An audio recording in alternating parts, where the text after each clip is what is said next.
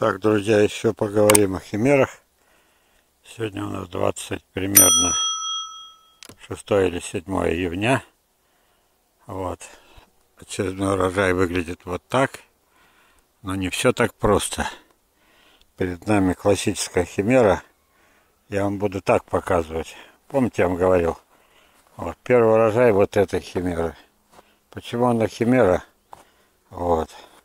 А потому что это манжурис. Посмотрите, он бывает вот таким манжурис? Нет. Откуда это ему взялось вот такое вот? А? Вот именно. Дело в том, что прививка, которая была на этом дереве, она погибла. А от прививки вниз на подвой передались качества. Чего? Правильно. Это было два академика. Вот один академик, так? Вот он тоже неправильный. Видите? Но это уже будет другой вопрос. Вон туда глядите. Сейчас в зелени трудно видно. Здесь прилично рожачек, но его трудно видно. Так сказать, трудно видно. А он еще. Ну ладно. А, отвлекся, отвлекся. Но сам подвой изменил свои качества. Вот смотрю и думаю, господи, что от вас будет? Теперь он пока похож на Амура. Ну а при чем тут Амур? Вот. Но подвой изменился благодаря тому, что именно такую форму имеет кто? Академик. А академик мертв. Это, еще раз, подвой.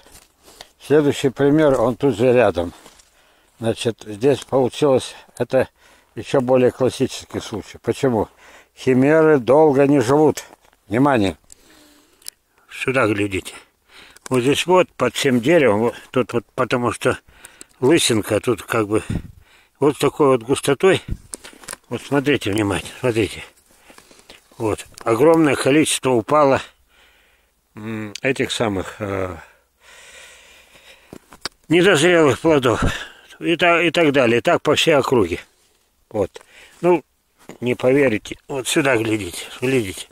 Вот с такой густотой, вот с такой густотой, вот с такой густотой, вот с такой густотой.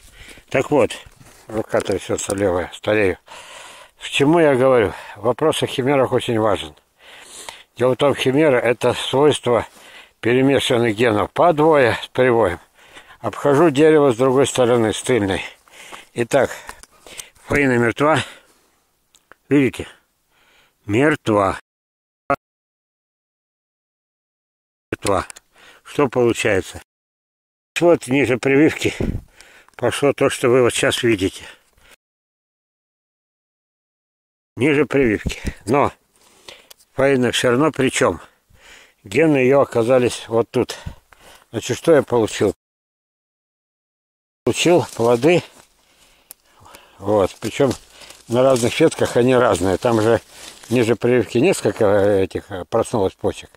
Самые мелкие вот такие, но они достигали 30 грамм так, а заметьте, это манжурис.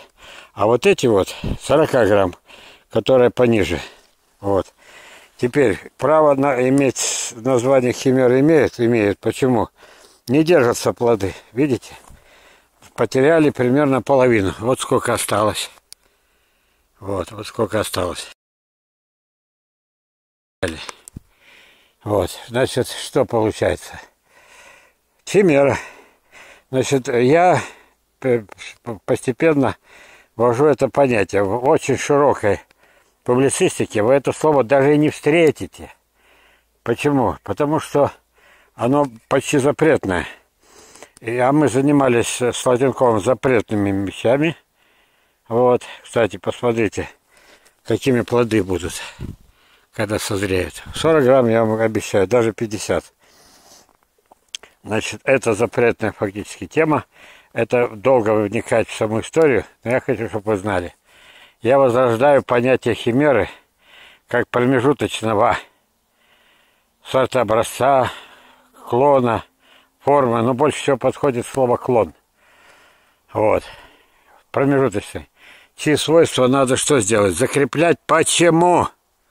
Потому что на данный момент это самое урожайное дерево в моем саду из культурных.